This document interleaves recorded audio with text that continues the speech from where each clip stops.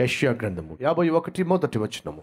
నీతిని అనుసరించుచు యహోవాను వెతకుచు ఉండువార్లారా నా మాట వినుడి. మీరు ఏ బండ నుండి చెక్కబడితిరో దానిని ఆలోచించుడి. మీరు ఏ గుంట నుండి త్రవ్వబడితిరో దానిని ఆలోచించుడి. మీ తండ్రి అబ్రహాము సంగతి ఆలోచించుడి. మిమ్మును కనిన శారాను ఆలోచించుడి. అతడు ఒంటరి అయి ఉండగా నేను అతనిని పిలిచి తిని అతనిని ఆశీర్వదించి అతనిని పెక్కు మంది ఎగునట్లు చేసి తిని. నా ప్రజలారా ఒక్కసారి ఆలోచించండి అయ్యా.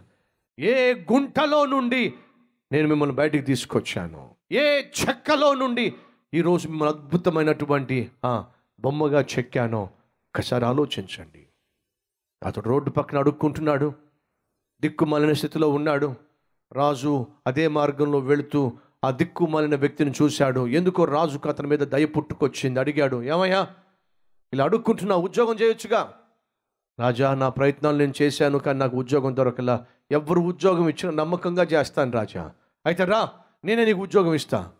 రాజు కనికరించాడు. ఆ అడుక్కునేవాడిని తన రాజ్యంలోకి తీసుకెళ్ళాడు. ఆ అడుక్కునేవాడు రాజు ఇచ్చిన పని నమ్మకంగా చేస్తూ ఉండగా రాజు గమనించి ఆఖరికి అతన్ని మంత్రిని చేశాడు. ఆడుకునేవాడు కాస్త ఇప్పుడు మంత్రి అయ్యాడు. అది గమనించినటువంటి మిగిలిన అధికారులు అసూయతో రగిలిపోయారు.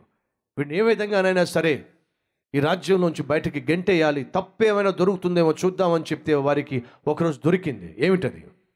ఈ మంత్రి ప్రతిరోజు ఉదయము సాయంత్రం తను అన్యాయంగా అక్రమముగా సంపాదించుకున్నటువంటి వెండి బంగారములు తన బీరువాలో దాచిపెట్టుకొని ఉదయము సాయంత్రము చూసుకొని తెగ ఉప్పొంగిపోవడం వాళ్ళు గమనించారు. రాజుకు చెప్పేశారు రాజా అడుక్కునేవాడిని అడుక్కునే ఉండే చోటే ముంచాలి కానీ మీరు తీసుకొచ్చి మంత్రిగా చేశారు. అతడు మీకే ద్రోహం చేస్తున్నాడు. మీ ఆస్తిని కాజేస్తున్నాడు. నిజమా? రాజు కోపం వచ్చింది. మంత్రి దగ్గరకు వచ్చాడు. మంత్రి అప్పుడే బీరువా తలుపు వేసేసి కాముగా బయటకు వస్తున్నాడు. గమనించిన రాజు అన్నాడు తెరువా బీరువా. మంత్రి అన్నాడు అయ్యా నువ్వు ఏం చెప్పినా చేస్తాను కానీ ఆ బీరువా మాత్రం తెరవను. రాజు కోపం వచ్చింది. నేను తెరవమంటే తెరవకుండా నువ్వు అంత నా మాటని తిరస్కరిస్తావా? కోపముతో సైనికులకు ఆజ్ఞ ఇచ్చాడు. తెరవండి ఆ బీరువా. రాజు వెళ్ళాడు ఆ బీరువాలో ఉన్న వాటిని చూశాడు. అంతేకాదు మిగిలిన అధికారులు కూడా చూశారు. మంత్రి మౌనంగా తలదించుకున్నాడు. రాజు మంత్రిని చూసి అంటున్నాడు మంత్రి ఏమిటయ్యా ఇది? ఏమిటిది? ఎందుకు వీటిని ఈ బిరువాలో దాచిపెట్టావు? అప్పుడు మంత్రి అంటున్నాడు అయ్యా రోడ్డు పక్కన దిక్కుమాలిన వాడిగా. అడుక్కుంటున్నప్పుడు తిండి తిప్పలు లేకుండా పూట గడవక అల్లాడిపోతున్నప్పుడు మీ కనికరము కలిగిన కళ్ళు నా మీద పడినాయి. ఇప్పుడు నేను మంత్రినయ్యాను. ఎక్కడ గర్వముతో మీకు వ్యతిరేకంగా జీవిస్తానేమో ఎక్కడ గర్వముతో నేను నశించిపోతానేమో మీ పక్కలో బల్లంగా తయారవుతానేమో ఆ గర్వానికి చోటు ఇవ్వకుండా నేను మీరు పిలిచినప్పుడు ఆ చిప్ప ఆ కర్ర ఆ గొంగలి ఈ బీరువాలో దాచిపెట్టుకున్నానయ్యా. ప్రతి ఉదయము చూస్తాను ప్రతి సాయంత్రము చూసుకుంటాను.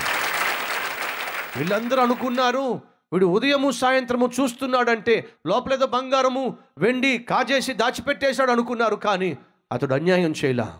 తను చూస్తుంది బంగారం కాదు వెండి కాదు. తను చూసుకుంటుంది కొన్ని సంవత్సరాల క్రితము ఎటువంటి దిక్కు మాలిన స్థితిలో ఉన్నాడో అది ప్రతి ఉదయము ప్రతి సాయంత్రం గమనిస్తూ రాజుకు రుణపడి జీవించేవాడు.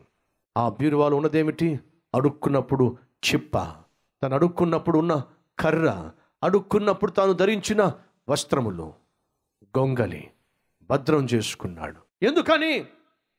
గర్వించకుండా ఉండడానికి ఎందుకని? ఒకప్పటి నా స్థితి ఏమిటో నేను మర్చిపోకుండా ఉండటానికి. ఈరోజు ఈ మాటలు వింటున్న సహోదరుడా సహోదరి ఉన్నదా ఆ కృతజ్ఞతాభావము? ఉన్నదా? నీ మధ్యలో జ్ఞాపకము ఏమిటి? ఒకప్పుడు ఈ పట్టణానికి వచ్చినప్పుడు ఏ పెట్టెతో వచ్చావో? ఏ చెప్పులు వేసుకొచ్చి వచ్చావో? ఏ దీనస్థితిలో వచ్చావో? జ్ఞాపకం ఉన్నదా? ఈరోజు నీకంటూ ఒక సొంత స్థలం ఉంది ఇల్లు ఉంది వస్తువు ఉంది వాహనం ఉంది ఏ లోటు లేనటువంటి జీవితం ఉంది. జ్ఞాపకము ఉన్నదా? ఒక ఇరవై సంవత్సరాల క్రితము ఒక ముప్పై సంవత్సరాల క్రితము. నీ బ్రతుకేమిటో? నీ స్థితి ఏమిటో జ్ఞాపకం ఉన్నదా? ఎంత హెచ్చించబడినా ఎంత దీవించబడినా మర్చిపోవద్దు. మన మూలాలు ఏ చెక్కలోంచి చెక్కబడ్డామో ఏ గుంటలో నుంచి దేవుడు మనల్ని తీసుకొచ్చాడో మర్చిపోకుండా మన బిడ్డలను చిన్నప్పటి నుంచి గర్వానికి తావివ్వకుండా గర్విష్ఠులుగా మారకుండా తగిన జాగ్రత్తలు తీసుకుంటూ దీన స్థితిలోనే మన జీవితాలు గడుపుతూ ముందుకు సాగుదాం.